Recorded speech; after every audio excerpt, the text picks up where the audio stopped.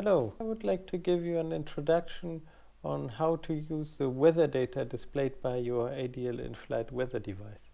This presentation is going to be only about the actual data you're going to see on your iPad or Android device. If you have any questions on how to actually operate the hardware and similar, please have a look at my other videos. Today I did download uh, some weather for you and uh, even though this is mainly a European system with some customers in Brazil and Australia. Um, for today, I did download some weather data for the United States as they simply have some very interesting convective weather which we don't have in wintertime in Europe.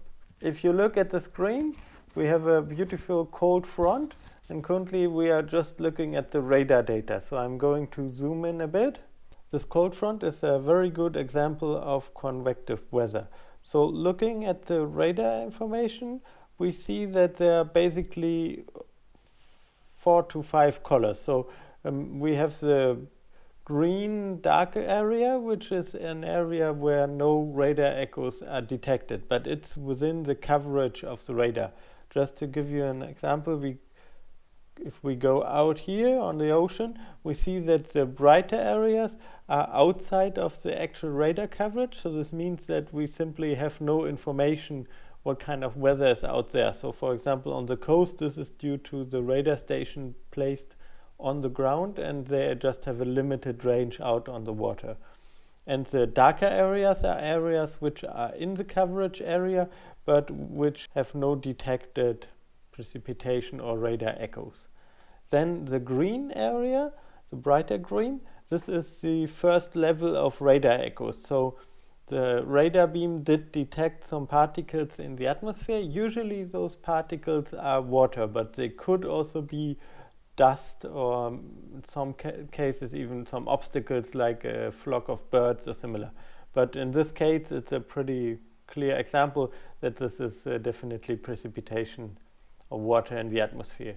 This does not necessarily mean that the precipitation is also present on the ground. So the radar detects this water or ice crystals in the atmosphere, but it doesn't mean that they necessarily have to fall all the way to the ground. It could be that some convective weather is basically um, keeping them in a circular movement in the atmosphere. This is very important because uh, some people think if there's a radar echo, it definitely has to rain on the ground or similar, and that's not really true. Now we see the, the colors gradually building. We have the green areas and then the next uh, intensity is the yellow. And from there on we have the orange and the highest intensity is, is red. So on the ADL systems you basically have four colors for active radar echoes plus another two colors um, which either mean there's no echo or it's outside of the coverage area. Before I go more into details, some general warning, like the ADL in-flight weather system is obviously a non-certified system and there could be errors of all kind, errors in the radar stations, error in the transmission, or error in the display on your iPad or similar device. So please always just use it for situational awareness only. Never use your primary source of navigation or weather avoidance. There is always some temporary delay in the data, so the weather could have moved or there could be an error and you could end up in a, in a very bad situation if relying on data link weather only. That being said, it's a very powerful tool. Just as an example to compare this with onboard radar, the typical range of a general aviation onboard radar is about 60 nautical miles. Many will have a dial where you can select a, a bigger range, but uh, usually this does not really work out. So you have a 60 nautical mile range, and on the left bottom of the current screen you see a, a 50 mile scale. So if you imagine that you have just a little bit more than this of visibility, you will see that you never will get the big picture of this whole frontal area. It might be possible to approach the front basically at an angle and then to see the cells right ahead, but if you are flying along the frontal area, for example, um, searching for a weak point where you might be able to cross, here we see that in this area the front is not as bad as more to the northeast, for example, then it's basically impossible with the onboard radar because of the limited range and also because most of them just show you 45 degrees to either side. Then add some wind from the bad side and in the end you only have maybe 30 degrees of visibility towards the frontal area which with a limited range does not really give you the big picture. Many pilots ask me um, what color of um, weather radar they should fly in or avoid. So the general rule is that uh, obviously from the green to the red the intensity increases but I emphasize that it's very important to understand the nature of the weather. If you have a, a big green area which is just a snowfall without much convective activity and basically no orange and red in there at all, then you might have a not so unpleasant flight experience in there depending on your aircraft performance. But if you look at this frontal area, it's definitely highly convective and active and in general I would um, suggest to avoid the whole thing even including the green areas because you never know um, what's in there. And the highly convective cores in the red area are pretty close. So there could also be hail falling out from the top of the uh, of the thunderstorm. So just avoid this by a, a wide margin. Obviously it depends on aircraft performance and your your personal minimums but I suggest to stay at least 20 nautical miles from any convective area in case of such a, a bad cold front, I would even stay away 30 or 40 miles. The next thing which is very important is to combine the different weather products. So um, currently we just had a look at the radar, but um, next thing is we are going to activate the strikes.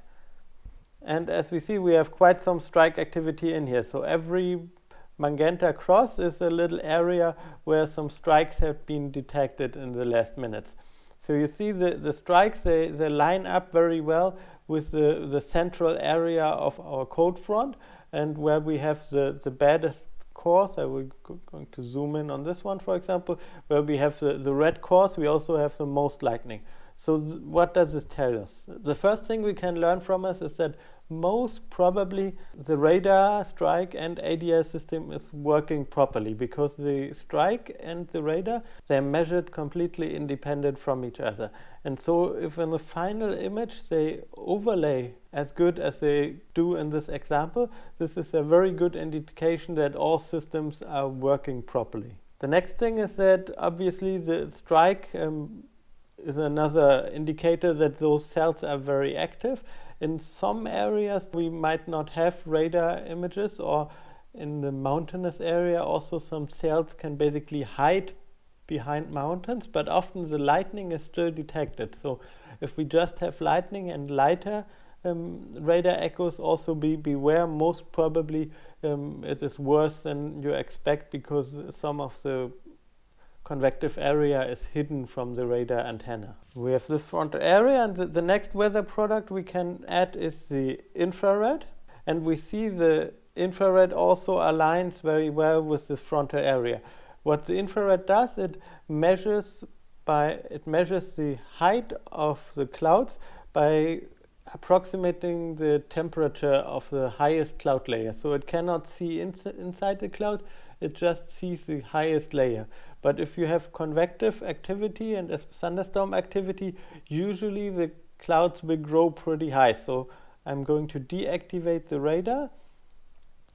And you see that the area which uh, the most intensive infrared color, which means that the tops are going to be at or above flight level 350 approximately, um, pretty much lines up with the lightning.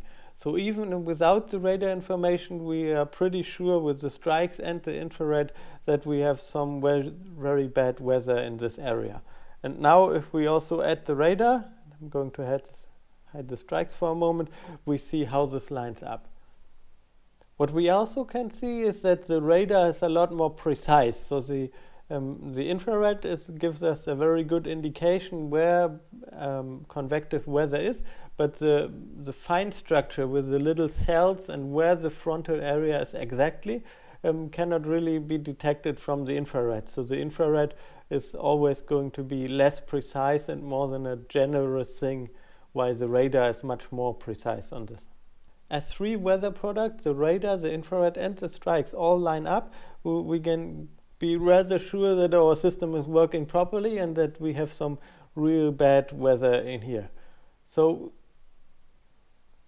we are going to look at some more weather products and in the end we might have a discussion what kind of flight strategy you might have to get across this front or maybe in this case this might also be not possible at all depending on your aircraft performance. I hide the infrared to declutter the view a bit and we can also add the wind information and I switch to flight level 340 for in general for, for frontal areas and, and convective areas it's very interesting to look at the wind at higher altitude. Even if your aircraft is not going to fly that high usually those systems are going to move in the direction of the high altitude wind while the low level wind is not so important. And here you see many areas with a wind velocity well over 100 knots. I see 130 knots in the frontal area. And as usual, the wind is going to blow in a very strong, nearly parallel to such a frontal area. So we see yeah, in the frontal area 130 knots and in the area around it 100 knots from the southwest. Next thing we can add, we can add the temperatures. And as it is winter, we are going to see that at flight level 340, we are around uh, minus 50 degrees Celsius or minus 45, depending the area you look at. The next thing we can activate is the color-coded minima. Those are basically METARs which have been coded into color codes. The first thing we instantly notice is that we have a huge number of airports with a windsock. So all those are airports which in their METAR report more than 20 knots of ground wind. So if we go along this frontal area, we, we see really many windsocks.